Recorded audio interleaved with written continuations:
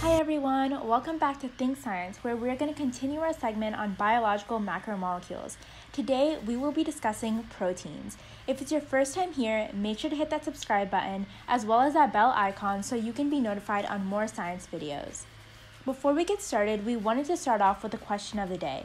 What is your favorite protein filled food? Leave your answer in the comments and let us know. Also, we wanted to thank you all for your support on our last videos for carbs, lipids, and nucleic acids. If you haven't already seen those videos, you should definitely go check them out. Now let's jump into the video. So proteins are incredibly important because they are pretty much involved in everything an organism does. They speed up chemical reactions, provide defense, transport, storage, structure, communication, movement, and many other things. The cool thing about proteins is that they all are made up of the same 20 amino acids. It's kind of like the alphabet, where we have 26 letters and we essentially just scramble them to make different words. Different proteins have different ordering of those same 20 amino acids to make a variety of proteins that all have different functions. So before we start talking about how all these amino acids make a protein, let's talk about the amino acids on their own.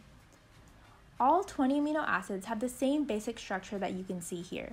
They all have this carbon in the center with a hydrogen branching off, a carboxyl group, and an amino group. All of these things are going to be the exact same for each amino acid. Now this R group is what is going to make each amino acid different from each other. While all amino acids will have an R group, they all have structures that differ.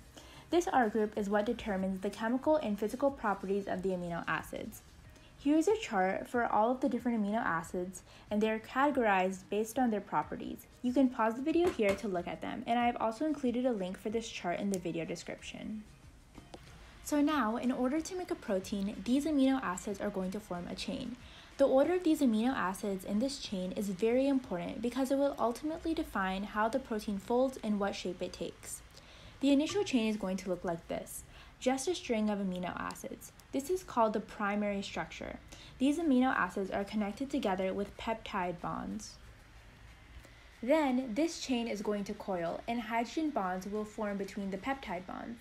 It's important to note that the hydrogen bonds are not forming between the R groups, but instead between the peptide bonds that hold the amino acid chain together.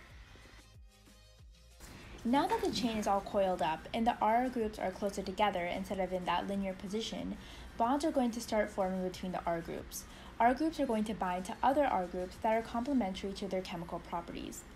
For example, a polar R group is not going to go bind to another polar R group. Instead, it is going to bind to another R group that is nonpolar.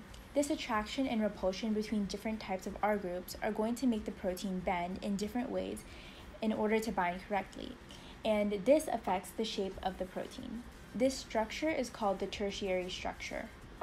Some bigger proteins have a quaternary structure, in which two or more of the tertiary structures will come together and make one big protein. Proteins can also be denatured if a protein is placed in an unfavorable environment where factors such as pH, temperature, salt concentration, etc., are not ideal for the protein, the bonds that hold the protein together can break and change the structure of the protein. This loss of structure means that the protein will not be able to function properly. Make sure to like and subscribe to our channel for more science videos. If this video made sense, leave a comment to let us know and also be sure to leave any questions about proteins and we will do our best to answer. Thank you for watching. Think Science.